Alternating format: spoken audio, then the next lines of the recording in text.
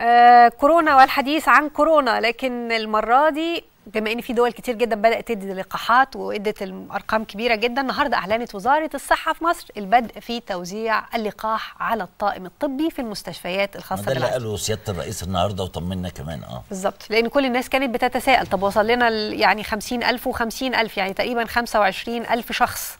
آه النهارده كمان تعاقدت الهيئة المصرية للشراء الموحد على 20 مليون جرعة من لقاح كورونا الخاص بشركة استرازينيكا البريطاني. آه ودي طبعا كانت تأكيدات اللي هو آه الطبيب آه بهاء الدين زيدان رئيس مجلس إدارة الهيئة. ده كله بيحصل في الوقت اللي بتتم فيه تجارب سريرية على كتير من اللقاحات اللي منها طبعا اللقاح الروسي سبوتنيك وهو مشابه جدا جدا للقاح استرازينيكا سبوتنيك. آه. اللقاح الروسي سبوتنيك. آه.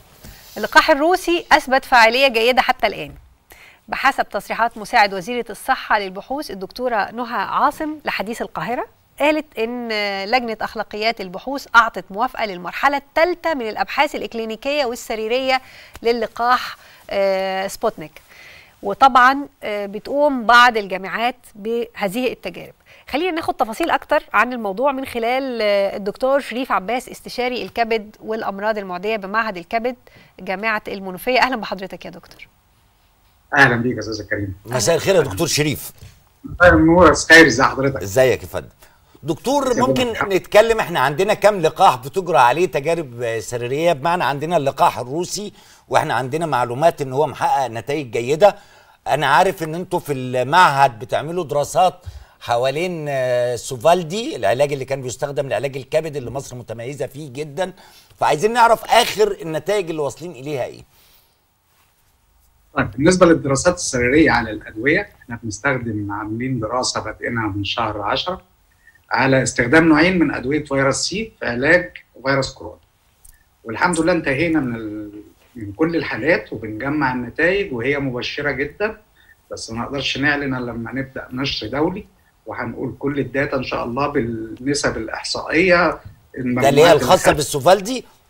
سوفا آه سوفالدي و... وداكلينزا المهم إن هم أيوة. نوعين من ادويه فيروس سي. إيه وجايبين نتائج كويسة جدا مع الحالات كمان المتقدمة الحمد لله. بس الكلام النهائي إن شاء الله بيتراجع في ال WHO ويتنشر وبعدين نعلن. تمام. عظيم.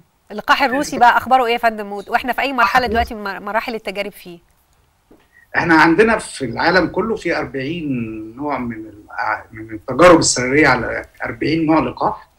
في اثنين خدوا approval خلاص اللي مصر جابت واحد فيهم اللي هو سينوفارم وبتاع فايزر دول خدوا approval خلاص في الطوارئ وواخدين approval في ال WHO طوارئ. وإحنا الحمد لله مصر ماشية بخطوات سابقة كتير قوي دول تانية في إن إحنا بنجرب بنفسنا اللقاح قبل ما ناخد قبل ما نديله approval عندنا. يعني سينوفارم ده اتجرب في مصر وخد approval وفي سينوفاك كمان بيتجرب. وبالنسبه للقاح الروسي إحنا الحمد لله الوزارة وهيئة أخلاقيات المهنة ادتنا موافقة إن إحنا نجربه في ثلاث أماكن في مصر. من ضمنهم معهد الكبد في شبين الكوم والعدد الحالات واخدينه زي ما الإمارات خدته زي السعودية ما خدته. 500 حالة هنجرب عليهم اللقاح وهنعمل لهم تحاليل وهنتابعهم بحيث إحنا نطلع إحنا بنتائج نقول إن ده متأكدين إنه هيفيدنا ومش هيبقى فيه ضرر.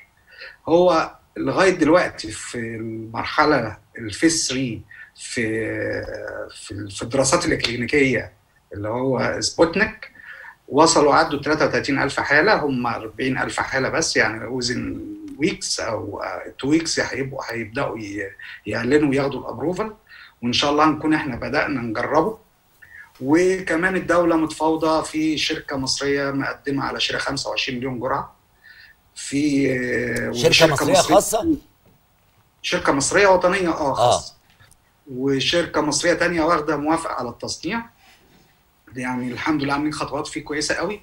هو أصلا كمان في دول بدأت واشترت وخدت موافقة طب اسمح لي يا دكتور الشركات الخاصة جزئية الشركات الخاصة هنا هل ده معناه إن التوزيع ممكن يخرج يبقى في الصيدليات مثلا زي ما كنا بنسمع قبل كده ولا كله برضو مازال حتى الآن الخط الأساسي إن التوزيع من خلال الأماكن الخاصة بوزارة الصحة والمستشفيات والأماكن المعتمدة؟ هو في الآخر برضو وزارة الصحة والأماكن المعتمدة. يعني ال- المصانع دي هتعمل والوزارة اللي هتدي. يعني مفيش حد هياخد كده من نفسه. يعني كل اللقاحات هتبقى عن طريق وزارة الصحة. ولما يبقى فيها إتاحة كبيرة هيبقى الناس كلها في أي وقت اللي عايز الطعام هيروح. لكن في الأول طبعا لازم الأطقم الطبية والناس اللي هم أصحاب الأمراض المزمنة زي ما الدولة حاطة الخطة دول اللي هنبدأ بيهم.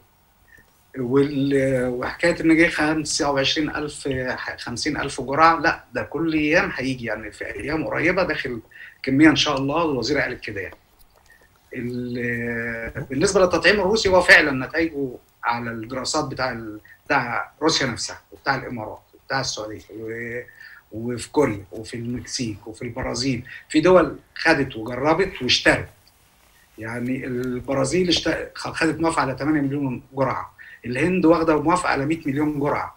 سبوتنيك. نعم. مصر ماشية مع كله. إحنا فاضل أربعة يعني هم اللي هياخدوا approval بعد الاثنين دول. اللي هي الدولة كانت بتفاوض عليه بتاع اوكسفورد أيوه. وسينو وسينوفاك بتاع الصين برضو قرب ياخد approval وسبوتنيك وموديرنا. طب دول اللي عليهم الضوء. ده كويس جدا. فرصة إنك معانا بس نطمئن على أحوال الكورونا في مصر. إحنا شايفين المعدلات العددية في الإصابات بتنخفض وإن كانت نسبة الوفيات لسه زيادة شوية. هو ده حقيقي لأن إحنا كمان بنشوف كم الحالات هو ال curve بادئ في النزول أيوة. فعلا يعني. يعني إحنا كنا وصلنا ال curve بقى لنا كام يوم بادئ ينزل فعلا. أيوه. ونتمنى إن الناس تبقى حريصة عشان مش عايزينه يطلع تاني. يعني عايزينه يكمل نزول زي المرة الأولى كده ينزل يعني بسرعة. حضرتك بترجع النزول ده لأن إحنا بقينا أكثر حرصا في آه. التقارب. أكيد.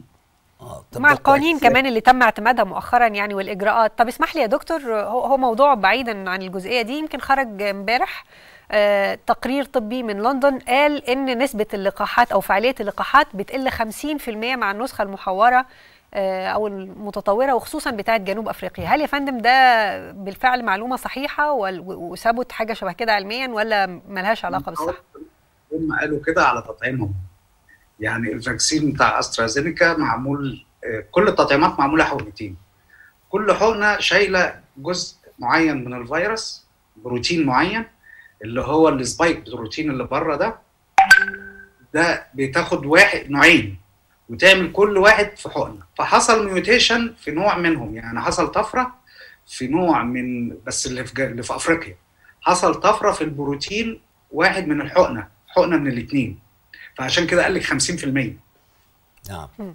بنشكرك آه، جدا. يعني- دكتور شريف بنشكرك على وقتك. دكتور شريف عباس استشاري الكبد والأمراض المعدية بجامعة المنوفية. شكرا لتواجدك معنا وعلى معلوماتك القيمة.